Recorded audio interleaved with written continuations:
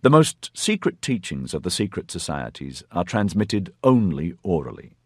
Other parts are written in a deliberately obscure way that makes it impossible for outsiders to understand.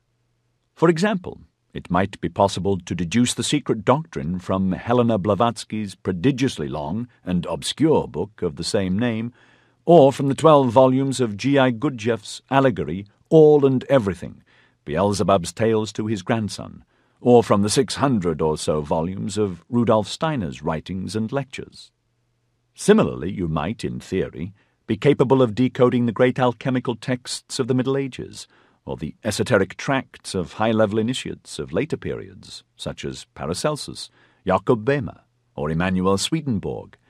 But in all these cases the writing is aimed at people already in the know. These texts aim to conceal as much as they reveal.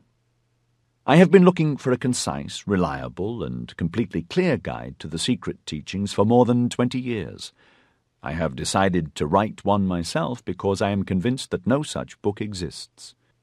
It is possible to find self-published books and websites that claim to do it, but like collectors in any field, those who browse in bookshops on a spiritual quest soon develop a nose for the real thing, and you only have to dip into these books and sites to see there is no guiding intelligence at work, no very great philosophical training, and very little hard information. This history, then, is the result of nearly twenty years' research. Books such as Mysterium Magnum, a commentary on Genesis by the mystic and Rosicrucian philosopher Jacob Boehme, together with books by his fellow Rosicrucians, Robert Fludd, Paracelsus, and Thomas Vaughan, have been key sources as well as modern commentaries on their work by Rudolf Steiner and others. But crucially, I have been helped to understand these sources by a member of more than one of the secret societies, someone who, in the case of one secret society at least, has been initiated to the highest level.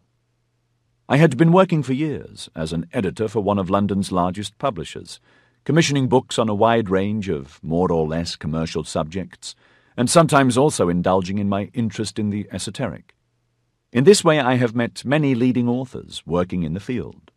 One day, a man walked into my office who was clearly of a different order of being. He had a business proposition that we should reissue a series of esoteric classics, alchemical texts, and the like, to which he would write new introductions.